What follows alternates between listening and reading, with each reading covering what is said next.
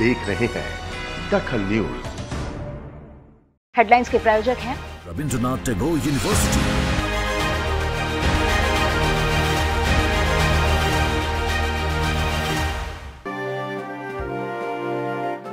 गृह मंत्री अमित शाह का बयान धारा 370 को पहले ही खत्म कर देना चाहिए था। अब होगा कश्मीर का विकास।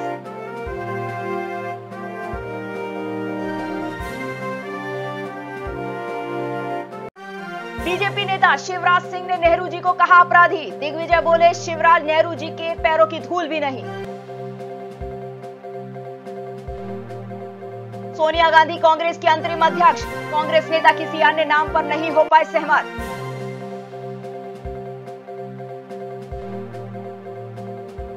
मध्य प्रदेश के मंत्री हर्ष यादव का छलका दर्द। बोले, हम आस्तीन के सांप पालते रहे हैं।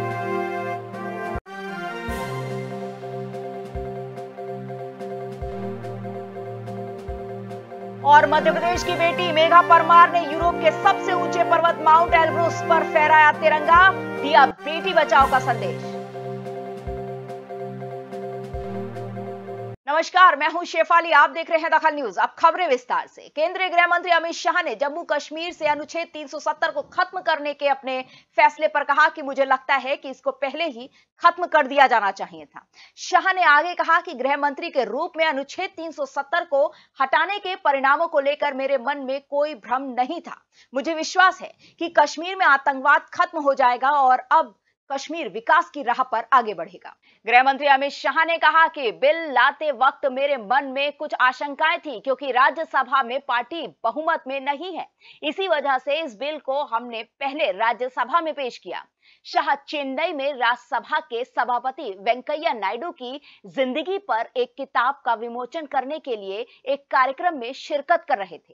केंद्रीय गृह मंत्री अमित शाह ने कहा कि धारा 370 कश्मीर को भारत से जोड़ती नहीं, बल्कि जोड़ने से रोकती थी। जो सरकार है, भारतीय जनता पार्टी की और एनडीए ने, एनडीए की, उसने धारा 370 से इस देश को मुक्ति दिलाई है। वेंकैया जी विद्यार्थी परिषद के कार्यक्रम कार्यकर्ता थे और 370 के खिलाफ आंदोलन चल रहा था।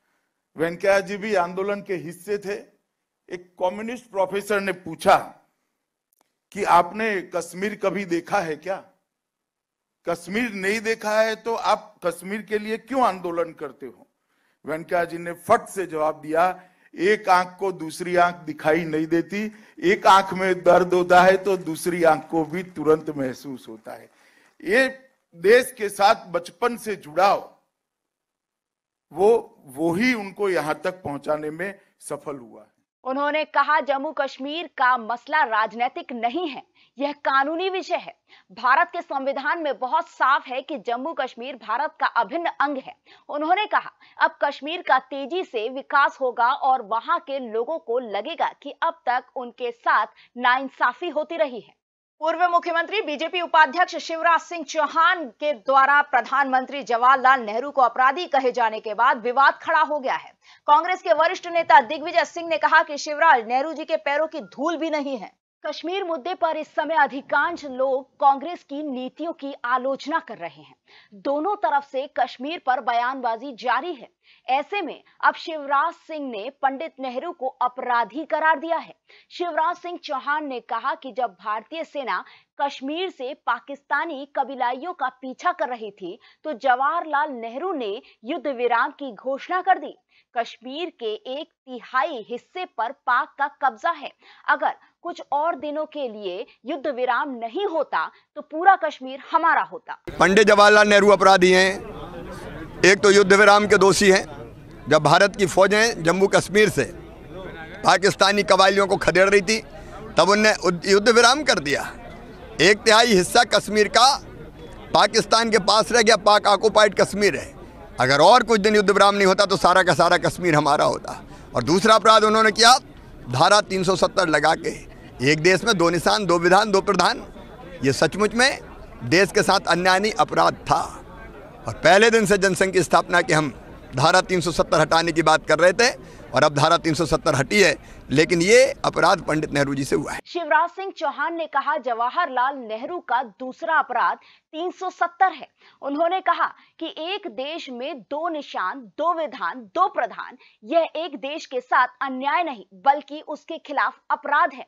शिवराज के इस बयान के बाद कांग्रेस ने शिवराज सिंह के खिलाफ मोर्चा खोल दिया है। पूर्व मुख्यमंत्री और कांग्रेस के सीनियर लीडर दिग्विजय सिंह ने सीहोर में कहा कि नेहरू जी के पैर की धूल भी नहीं है शिवराज सिंह चौहान। उनको शर्म आनी चाहिए। नेहरू जी की पैरों की धूल भी नहीं है शिवराज। क्या बात। शर्म आनी चाहिए उनको। लोकसभा चुनाव में करारी शिकस्त के बाद अब राहुल गांधी ने अध्यक्ष पद छोड़कर नया अध्यक्ष चुनने की जवाबदारी कांग्रेस नेताओं को दी थी। लेकिन लंबी मशक्कत के बाद भी कांग्रेस नेता किसी नाम पर एक राय नहीं बना पाए और थक हार कर एक बार फिर सोनिया गांधी को कांग्रेस का अंतरिम अध्यक्ष बनाया गया है। कांग्रेस वर्किंग कमेटी की बैठक में सोनिया का नाम तय हुआ और उन्हें एक बार फिर अध्यक्ष पद की ज़िम्मेदारी सौंपी गई। पूरी कांग्रेस ने एक बार फिर गांधी परिवार के सदस्य को अपना अध्यक्ष चुना। शनिवार को हुई कांग्रेस वर्किंग कमेटी की बैठक के बाद पार्टी ने ऐलान किया कि राहुल गांधी का इस्तीफा स्वीकार कर लिया गया है और अगले अध्यक्ष के चुनाव तक सोनिया गांधी पार्टी के अंतरिम अध्यक्ष बनी रहेंगी। अब अखिल भारतीय कमेटी का सत्र बुलाया जाएगा और नए अध्यक्ष का चयन होगा। अभी अखिल भारतीय कांग्रेस कमेटी की बैठक की तारीख तय नहीं है। सोनिया गांधी सबसे लंबे समय तक कांग्रेस पार्टी के अध्यक्ष रही हैं is the new Congress president. Is the new Congress president. Is the new Congress president. भारतीय क्रिकेट टीम के धुआंधार बल्लेबाज सुरेश रैना की शुक्रवार को घुटने की सर्जरी हुई उन्हें इस चोट से उबरने में छह सप्ताह का समय लगेगा रैना के फैंस ने दुआएँ मांगी हैं फैंस का कहना है कि जल्द रैना ठीक हो और मैदान में आकर हमेशा की तरह धुआंधार बल्लेबाजी करें बीसीसीआई ने अपने आधिकारिक ट्विटर अकाउंट पर रैना का हॉस्पिटल का फ़ोटो पोस्ट करते हुए रैना की सर्जरी की जानकारी दी। बीसीसीआई ने बताया कि रैना को पिछले कुछ महीने से घुटने में परेशानी हो रही थी। इसके चलते उनकी सर्जरी की गई। सर्जरी सफल हुई और रैना को रिकवरी के चार से छह हफ़्ते रिहेबिलिटेशन से गुजरना होगा। बोर्ड उनके जल्दी फिट होने की कामना करता है। बत्तीस वर्षीय रैना ने तीस जुलाई दो हज़ार पाँच को डाम्बुला में श्रीलंका के खिलाफ वनडे मैच से इंटरनेशनल करियर की शुरुआत की थी। रैना ने अपना अंतिम अंतर्राष्ट्रीय मैच लीडर्स में 17 जुलाई 2018 को इंग्लैंड के खिलाफ खेला था। उन्होंने 18 टेस्ट मैचों में तिरपन की औसत से सात सौ अड़सठ रन बनाए। वे 226 इंटरनेशनल वनडे मैचों में पैंतीस की औसत से 5,615 रन और 78 टी मैचों में उनतीस की औसत से 1605 रन बना चुके हैं। रैना इंटरनेशनल क्रिकेट में कुल बासठ विकेट ले चुके हैं। ज्योतिरादित्य सिंधिया के जम्मू कश्मीर में धारा 370 और 35 ए को हटाने जाने पर केंद्र सरकार का समर्थन करने वाले ट्वीट पर सियासत शुरू हो गई है। बीजेपी नेता और पूर्व मंत्री जयभान सिंह पवैया, जो सिंधिया के धूर विरोधी माने जाते हैं, वे कह रहे हैं कि ज्योतिरादित्य सिंधिया में इतनी ही देशभक्ति जाग रही है तो कांग्रेस को ठोकर मारकर मैदान में आ जाए। हम बीजेपी में उनका स्वागत करेंगे। सिंधिया ने ट्वीट कर जम्मू कश्मीर में धारा 370 और 35 ए को हटाने पर केंद्र सरकार का समर्थन किया था। इस पर पूर्व मंत्री जयभान सिंह पवैया ने सिंधिया को बीजेपी में आने का तंज भरा न्योता दिया है। कहा है, कांग्रेस को ठोकर मारे सिंधिया। हम करेंगे स्वागत। सिंधिया का ट्वीट सभी को हैरान कर देने वाला था।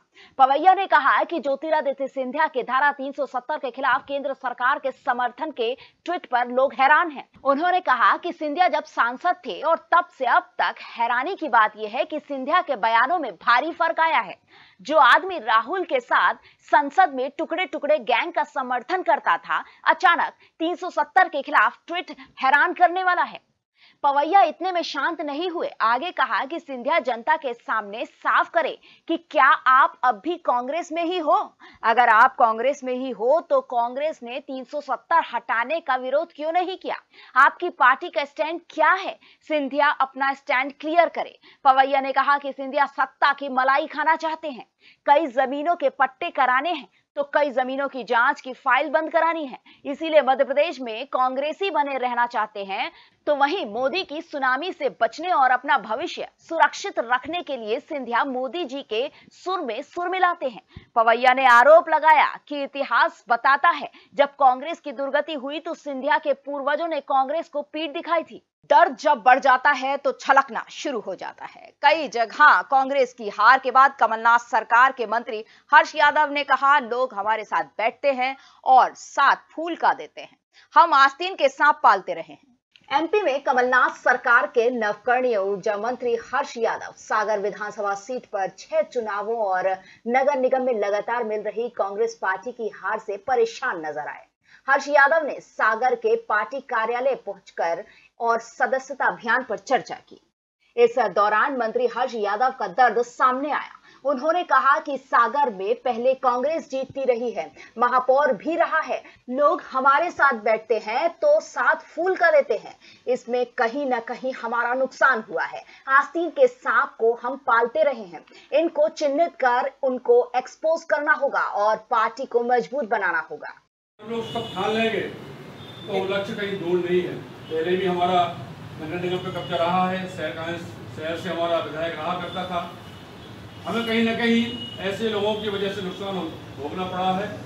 जो बैठते तो हमारे साथ हैं और फूल को मुझे मालूम है, आपको भी मालूम है आस्तीन के साथ। मध्य प्रदेश में कांग्रेस सरकार की वादा खिलाफी से नाराज़ बिजली वितरण करने वाले सभी कंपनियों के आउटसोर्स कर्मचारियों ने सरकार के खिलाफ प्रदर्शन कर उसे उसका वादा याद दिलवाया। इन प्रदर्शनकारी कर्मचारियों को खदेड़ने के लिए पुलिस को लाठी चार्ज करना पड़ा। मध्य प्रदेश में बिजली वितरण करने वाली सभी कंपनियों के आउटसोर्स पर लगे कर्मचारी रविवार सुबह भोपाल के चिनार पार्क में जमा हुए और प्रदर्शन किया। कर्मचारियों का कहना है कि उन्हें नौकरी से निकाला जा रहा है। कांग्रेस ने विधानसभा चुनाव के दौरान अपने घोषणा पत्र में वचन दिया था कि उन्हें नियमित किया जाएगा।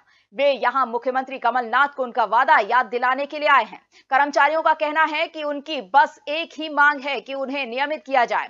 आउटसोर्स पर रखे गए लोगों का कहना है कि हमें कहा जा रहा है कि आप नई नौकरी ढूंढ लें। इसके बाद जब भोपाल में इन परेशान कर्मचारियों की किसी ने सुध नहीं ली तो मजबूरन उन्हें सड़क पर उतरना पड़ा। इन कर्मचारियों को उम्मीद थी कि ऊर्जा मंत्री या कोई बड़ा अधिकारी इनकी समस्याओं को सुनने, तवज्जो देना शुरू करेगा। लेकिन कुछ भी नहीं हुआ, बाद में इन कर्मचारियों को खदेड़ने के लिए पुलिस ने हल्का बल प्रयोग किया, जिसके बाद ये पीड़ित कर्मचारी इधर उधर हुए। पुलिस के लाठीचार्ज और भगदड़ में कुछ लोगों को चोट भी लगी है। पूरे मध्य प्रदेश में एक ऐतिहासिक मांग है। कर्मचारी एक रुपया आउटसोर्स कर्मचारी नहीं मांग रहा। सिर्फ़ आउटसोर्स ठेका कर्मचारी ये मांग रहा है कि उसको वर्तमान में जो वेतन ठेकेदारों के माध्यम से दिया जाता है, उसमें उसका वेतन हड़पा जा रहा है। सरकार ये वेतन सीधे बिजली कंपनियों से प्रदान करते हुए उनके नियमितीकरण का मार्ग प्रशस्त करे, क्योंकि उन्होंने वचन पत्र में बिंदु क्रमांक तेरह दशमलव ग्यारह में कांग्रेस ने वचन पत्र में कहा है कि हम बिजली कंपनियों के रिक्त पद बनेंगे। हम चाहते हैं ये रिक्त पद आउटसोर्स ठेका कर्मचारियों के माध्यम से बने जाए। भोपाल स्वच्छता सर्वेक्षण में पिछड़ा तो नगर निगम सफ़ाई को लेकर एक्शन मोड में आ गया। सार्वजनिक स्थलों को गंदा करने पर निगम के स्वास्थ्य अमले ने लोगों पर कार्रवाई करनी शुरू कर दी। गंदगी करने वालों पर कहीं स्पॉट फाइन लगाया तो कहीं किसी से उठक बैठक लगवा दी। भोपाल गंदा ना हो, इसके लिए लोगों पर यह कार्रवाई निगम द्वारा जारी रहेगी। भोपाल नगर निगम ने सार्वजनिक स्थानों पर गंदा करने वालों पर सख्त कार्यवाही शुरू कर दी है। भोपाल को गंदा करना अब आपको महँगा पड़ सकता है। पान गुटखा खाकर सार्वजनिक स्थल पर थूकने और गंदा करने वालों की अब खैर नहीं। निगम कर्मियों ने लोगों से पान गुटखा थूकने पर उठक बैठक लगवाना शुरू कर दिया है। शहर के पिचासी वार्डो में सार्वजनिक स्थानों पर गंदगी करने वालों पर निगम के स्वास्थ्य अमले ने लोगों पर स्पॉट फाइन लगाया। खुले में लघु शंका करने पर रोक लगाई गई और अगर कोई ऐसा करता पाया जाता है तो उस पर स्पॉट फाइन लगाया जा रहा है। नगर निगम और महापौर आलोक शर्मा के इस पहल की लोगों ने तारीफ़ की है। समय ब्रेक का है। ब्रेक के बाद जल्द हाजिर होंगे। आप देखते रहिए दखल न्यूज़।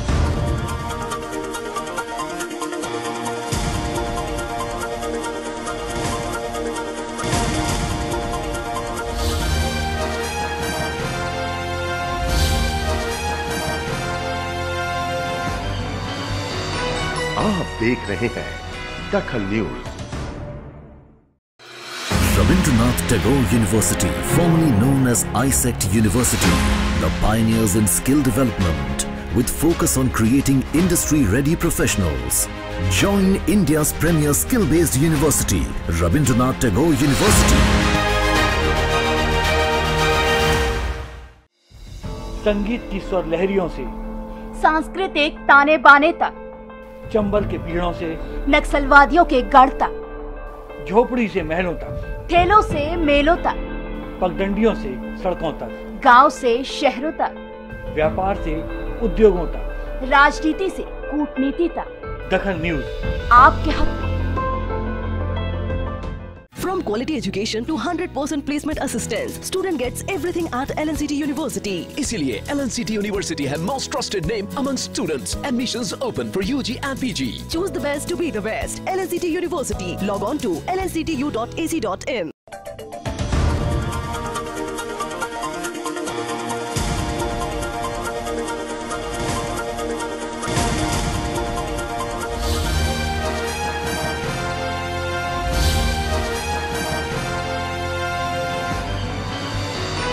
आप देख रहे हैं दखल न्यूज़। ब्रेक के बाद आपका स्वागत है। छत्तीसगढ़ और मध्य प्रदेश के अलग होने के बाद छत्तीसगढ़ लगातार विकास की राह पर है। फिर भी हमेशा से बस्तर के लोगों को पासपोर्ट बनवाने की सुविधा का अभाव लगता था। इनकी इस समस्या को देखते हुए विधायक अमित जोगी ने विदेश मंत्री को ट्वीट कर बस्तर में पासपोर्ट ऑफ़िस की मांग की थी, जिस पर उन्हें विदेश मंत्री से सकारात्मक जवाब मिला है। छत्तीसगढ़ जनता कांग्रेस के विधायक अमित जोगी ने बस्तर में पासपोर्ट ऑफ़िस खोलने के लिए विदेश मंत्री डॉक्टर एस जयशंकर को ट्वीट किया था, जिस पर तब त्वरित कार्रवाई करवाने और जल्द ही सुविधा देने की बात पर विधायक अमित जोगी ने विदेश मंत्री डॉक्टर एस जयशंकर का उनका आभार माना है। आपको बता दें कि छत्तीसगढ़ विभाजन के बाद अमित जोगी के पिताजी जोगी छत्तीसगढ़ के मुख्यमंत्री थे, उस वक्त भी बस्तर को पासपोर्ट कार्यालय की ज़रूरत थी। कौटिल्य अकादमी भोपाल ने स्टूडेंट्स के लिए सेमिनार का आयोजन किया। सेमिनार में अनुभवी अधिकारियों ने यूपीएससी के छात्रों को सिविल सर्विसेज़ की तैयारी करने की रणनीति के बारे में बताया। आयोजन में स्कॉलरशिप परीक्षा में पास हुए विद्यार्थियों के परिणाम भी घोषित किए गए। भोपाल स्थित कौटिल्य अकेडमी में करियर सेमिनार का आयोजन किया गया। आयोजन में मुख्य अतिथि के तौर पर आईआरएस लोकेश कुमार लिल्लारे ने सिविल सर्विसेज़ की तैयारी के बारे में छात्रों से बात की। लोकेश कुमार ने छात्रों को तैयारी के लिए स्मार्ट स्टडी और कड़ी मेहनत करने की सलाह दी। लिल्हारे ने बताया कि सिविल सर्विसेज़ में रैंक लाने के लिए समय का सही उपयोग के साथ साथ किताबों का चयन ज़रूरी है। तैयारी की सबसे पहले की कड़ी किसी भी परीक्षा का सिलेबस होता है। लोकेश लिल्हारे ने छात्रों से सवाल के जवाब भी दिए। इनके बारे में मुझे जानकारी नागपुर के पास के रहने वाले हैं, वहाँ निःशुल्क क्लासेस लगाते हैं। और जो बच्चों के लिए इस प्रकार के सोशल इशूज पे काम करता है, वहाँ पे मैं पूरा समय देता हूँ।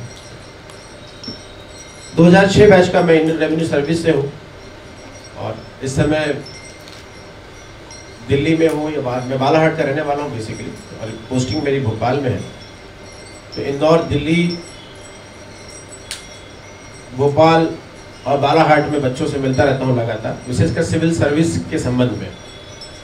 कुछ मेरे यूट्यूब पे वीडियोस भी आते हैं इस संदर्भ में कि तैयारी कैसे करनी चाहिए, व्यक्ति कहाँ गलती करता है और कहाँ कहाँ ध्यान देना होता है।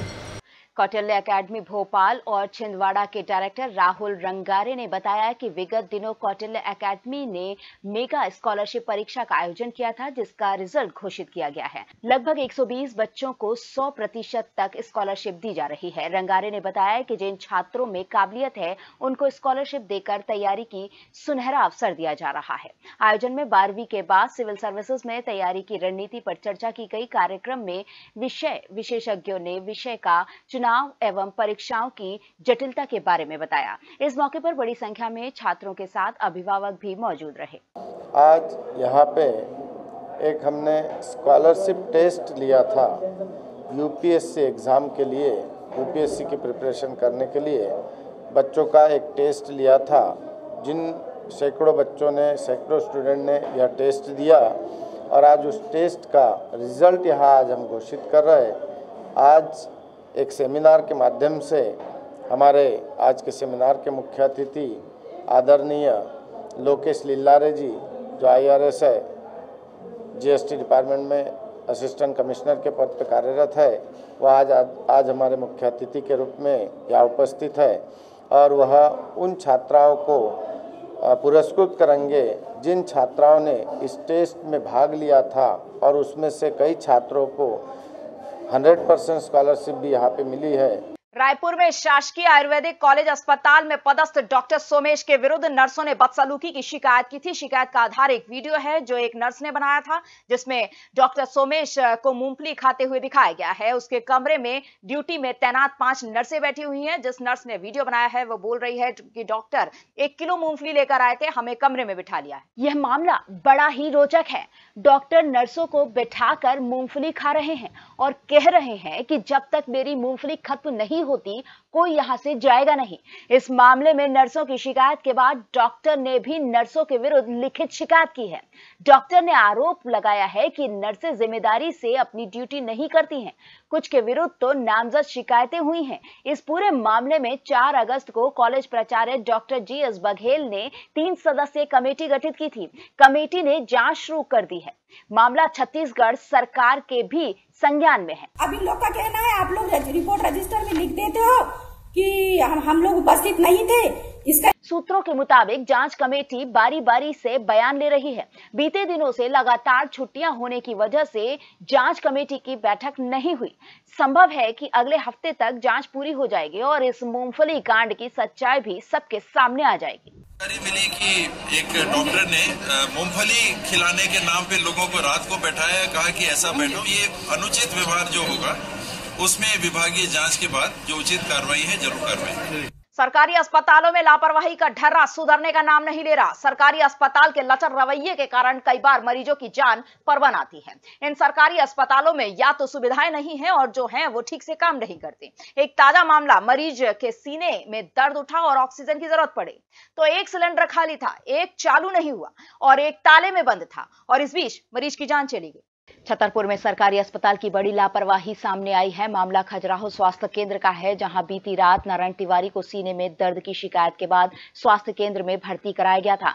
मरीज़ के परिजनों ने डॉक्टर से मरीज़ को ऑक्सीजन उपलब्ध कराने की बात कही तो ऑक्सीजन सिलेंडर लाया गया, मगर वो खाली था। दूसरा सिलेंडर चालू ही नहीं हो रहा था, तीसरा ताले में बंद था। जब तक वह सिलेंडर आया, तब तक मरीज़ की जान चली गई। मरीज़ के साथ हुई लापरवाही के कारण परिजन हंगामा करने लगे और डॉक्टरों पर आरोप लगाया कि यदि तत्काल मरीज़ को ऑक्सीजन मिल जाती तो शायद मरीज़ की जान बच जाती।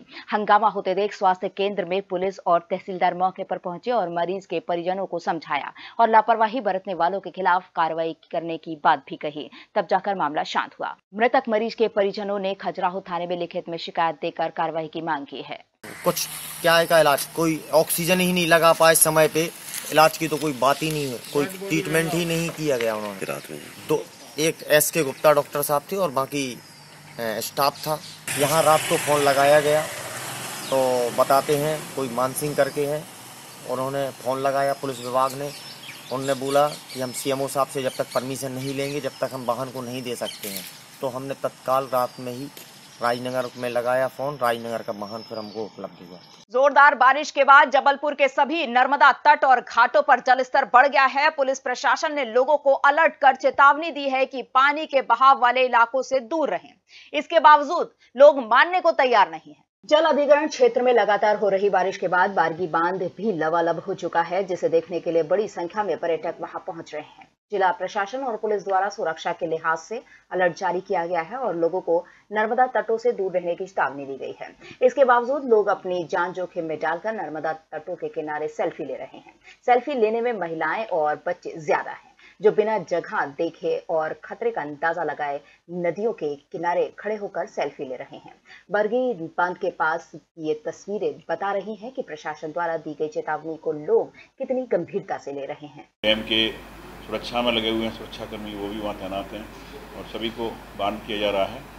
कल भी आ, मैंने देखा था पूरी व्यवस्था। आज भी पुनः सीएसपी और बर्गी प्रभारी को बताया गया है कि वो जो भी सैलानी वहाँ जा रहे हैं देखने के लिए एहतियातन अपनी सुरक्षा के लिए उनको सजग करें और वहाँ निरंतर पेट्रोलिंग करते हैं कई बार ऐसे खतरे मोल लेने के दौरान लोग अपनी जान तक गंवा चुके हैं और हर दिन हादसे के संबंध में खबरें आ रही हैं। बहरहाल, पुलिस अधिकारियों ने एक बार फिर लोगों से अपील की है कि यदि वे नर्मदा तटों पर घूमते नज़र आते हैं तो चेतावनी का ध्यान रखें कि अपनी एवं अपने परिवार की सुरक्षा के मद्देनजर किसी तरह का जोखिम न उठाएँ। सड़क पर दौड़ती कार अचानक बर्निंग कार बन गई। रास्ते पर जाते लोग इस नजारे को देखकर हैरान। हो गए थे। कार में तीन लोग फंसे नज़र आ रहे थे। राहगीरों ने देर न करते हुए तीनों कार सवारों को सुरक्षित बाहर निकाल लिया। संत हिरदाराम नगर के समीप हलालपुरा भोपाल इंदौर हाईवे पर अचानक चलती कार में आग लग गई। जब तक लोग कुछ समझ पाते, तब तक कार पूरी तरह आग की चपेट में आ चुकी थी। यह हादसा ईसाई कब्रिस्तान हलालपुरा के पास फोर्ड कार में हुआ। कार में तीन लोग सवार थे। मौके पर मौजूद लोगों की मदद से कार सवारों को सलामत बाहर निकाला जा सका। कार सवार सभी लोग सुरक्षित हैं। अंदाज़ा लगाया जा रहा है कि आग शॉर्ट सर्किट के कारण लगी होगी। मौके पर बैरागढ़ थाना पुलिस ने आग लगने के कारणों की जाँच शुरू कर दी है। स्वाधीनता दिवस से पहले मध्य प्रदेश की बेटी मेघा परवार ने हिमालय के माउंट एवरेस्ट के बाद अब यूरोप के सबसे ऊँचे पर्वत, माउंट एल्ब्रुस की चोटी पर तिरंगा फहराया। यह कीर्तिमान बनाने वाली ये प्रदेश की पहली महिला है। सीहोर ज़िले के ग्राम भोजनगर की मेघा परमार रूस के पर्वत माउंट एल्ब्रूस पर 8 अगस्त को स्थानीय समय अनुसार सुबह दस बजकर चौदह मिनट पर माइनस अठारह डिग्री तापमान में पहुँची थी। मेघा भोजनगर गाँव के किसान दामोदर परमार व मंजू परमार की बेटी हैं। मेघा ने इसी साल 22 मई को विश्व के सबसे ऊँचे पर्वत माउंट एवरेस्ट को फतेह किया था। मेघा ने अपना एक्सपीडिशन पाँच अगस्त को शुरू किया था। आठ अगस्त को रात एक बजे निकलकर सुबह दस बजकर चौदह मिनट पर चोटी पर पहुंचकर सबमिट किया। मेघा की team leader Bharat guide Yuri व सदस्य अरुण, आशा, महिपाल, सतीश और शेखर थे। मेघा को पहला बाल विकास विभाग ने बेटी बचाओ अभियान का ब्रांड एम्बेसडर घोषित किया है। तिरंगे की आन बान और शान के लिए रायपुर में एक ऐतिहासिक रैली निकाली गई।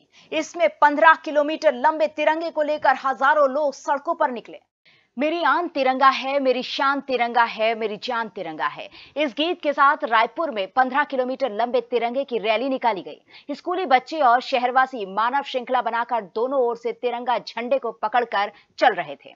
देशभक्ति से ओत प्रोत रायपुर के हज़ारों स्कूली बच्चों के साथ शहरवासी भी इसमें शामिल हुए।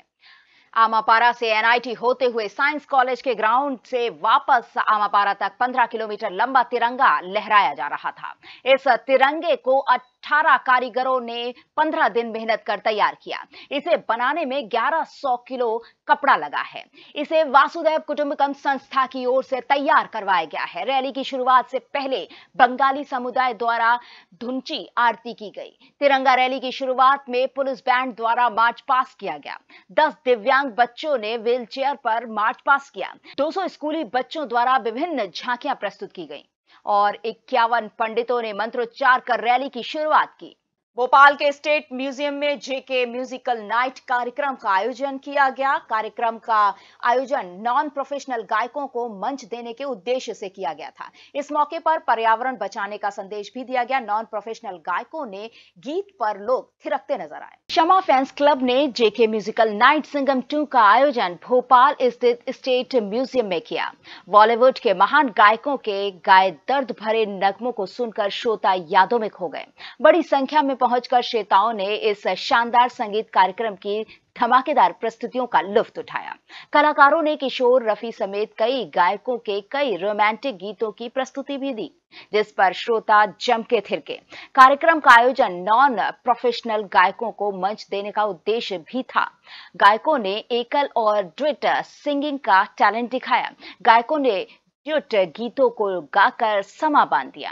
कार्यक्रम के आयोजक जगदीश रायकवार ने बताया कि यह कार्यक्रम नए गायकों को प्लेटफॉर्म देने के उद्देश्य से किया गया है। संगम टू की सफलता का श्रेय सभी गायकों और क्लब से जुड़े लोगों को जाता है।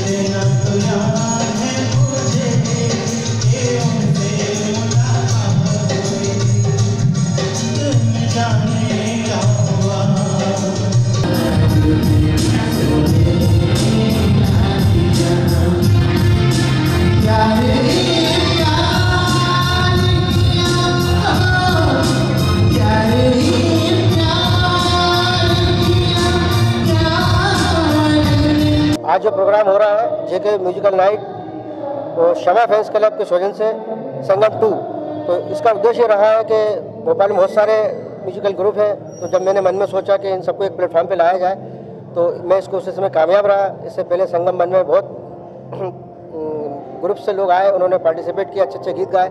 संगम टू में भी मेरे को सभी लोगों का सहयोग मिल रहा है। मैं सभी, भोपाल के सभी म्यूजिकल ग्रुप का आभारी हूँ कि मुझे सपोर्ट वो कर रहा है और मेरे प्रोग्राम में शिरकत कर रहा है। और मेरे जो ग्रुप का उद्देश्य ये है कि भोपाल में एक से टैलेंटेड लोग हैं जिनको मंच नहीं मिल पाता है उनके लिए हमने तैयार किया। श्रोताओं ने तुझ संग प्रीत लगाई किसी राह में और इतना तो याद है मुझे गीतों को काफ़ी पसंद किया और गायकों की सराहना भी की।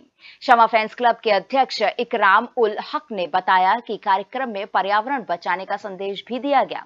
इसके साथ ही ट्रैफ़िक नियम के पालन करने का श्रोताओं से आग्रह भी किया गया। तो ये प्रोग्राम्स कर रहे हैं संगम टू। तो इनका संगम का मतलब है कि सारे जितने भी म्यूजिशियन हैं, यहाँ पे सिंगर्स हैं, जो इस चीज़ को लेकर चल रहे हैं, उनका संगम कराना है और उनको नया प्लेटफॉर्म देना है।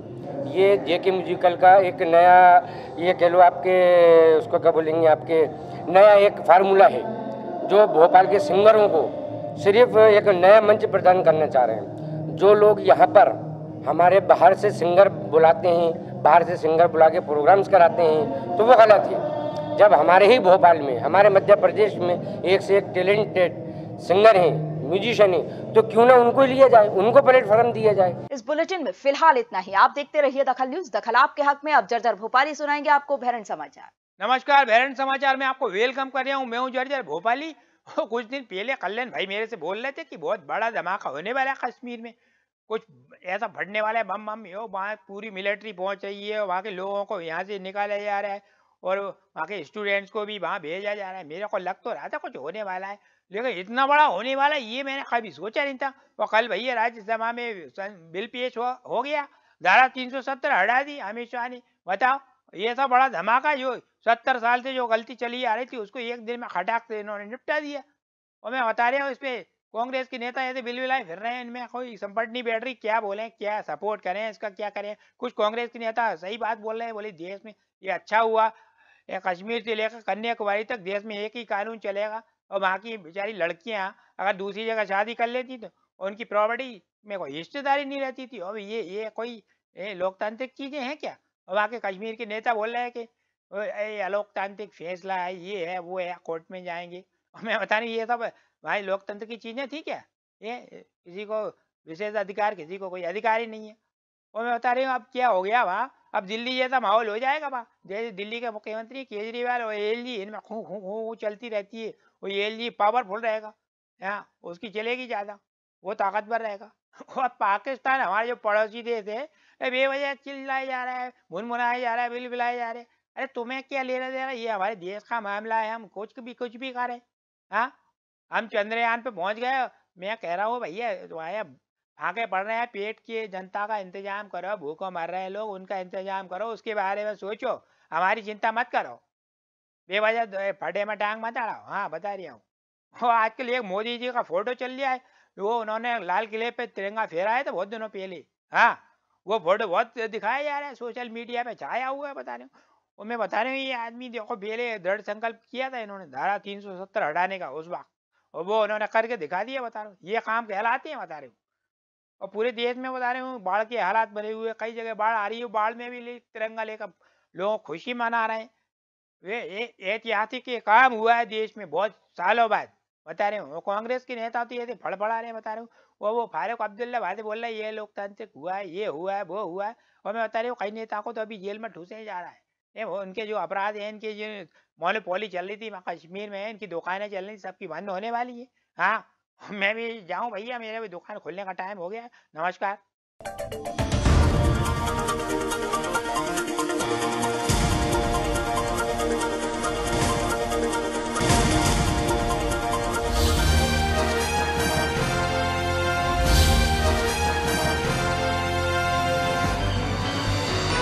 आप देख रहे हैं Dakhal news